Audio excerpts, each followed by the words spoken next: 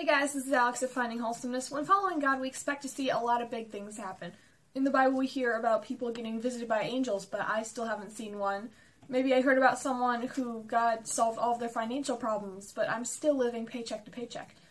I read about how Lazarus was raised from the dead, but God, where were you when my loved one died? God, why didn't you prevent this person from leaving? Or why didn't you prevent this awful situation? And I could go on and on about this. But that's not what this is about. What this is really about is still believing even when we don't see those things.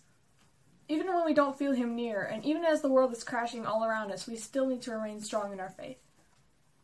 As it says in Hebrews 1:11, now faith is assurance of things hoped for, the convention of things not seen.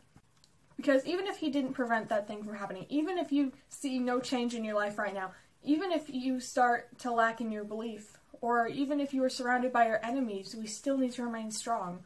Relying on seeing something will only trip us up. When you're looking for a big change or proof, you don't see all the little things that God is doing for you right now. We need to walk in faith and not by sight.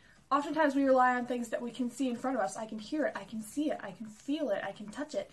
But these are things that are legible, like a calculator. But there are some things that we can't see and feel and touch. The things that we can't see or feel or touch are really important too. You can't see or touch God because you can't see or touch something that is inside of you. So stop looking around, but instead look through the eyes of your heart.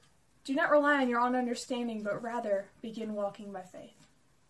Thanks for watching. This is Alex of Finding Wholesomeness signing out. Bye.